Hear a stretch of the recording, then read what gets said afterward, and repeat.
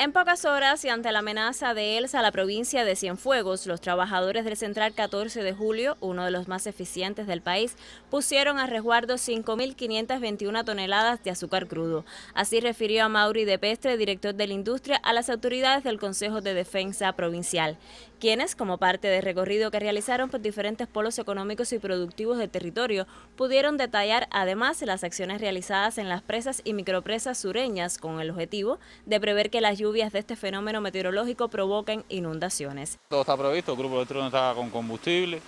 el sistema se probó, se, se probaron las ocho compuertas con el grupo electrónico, todo está al 100%. Esta presa tiene 126 eh, millones de, de gasto de venida, que eso supera dos veces y algo el volumen del embalse. Por eso es que es tan, tan peligroso y hay que operar con cuidado. Los operadores no pueden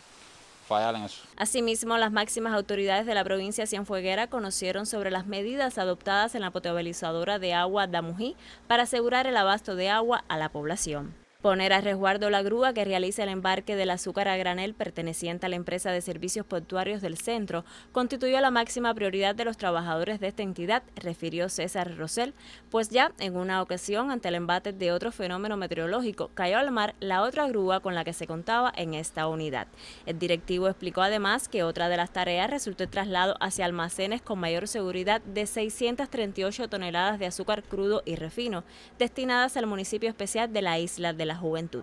que los alimentos y productos de la canasta básica y de comercialización en los mercados paralelos estén a resguardo de las lluvias y vientos que pueda propiciar ERSA a Cienfuegos, resultó una de las principales preocupaciones de las autoridades del Consejo de Defensa Provincial, quienes en su recorrido llegaron hasta la empresa mayorista de productos alimenticios y otros bienes de consumo para comprobar que todo se encontrara bajo el cuidado y protección en los almacenes de esta entidad. Desde Cienfuegos, Marian Cueto Groero, Sistema Informativo de la Televisión Cubana.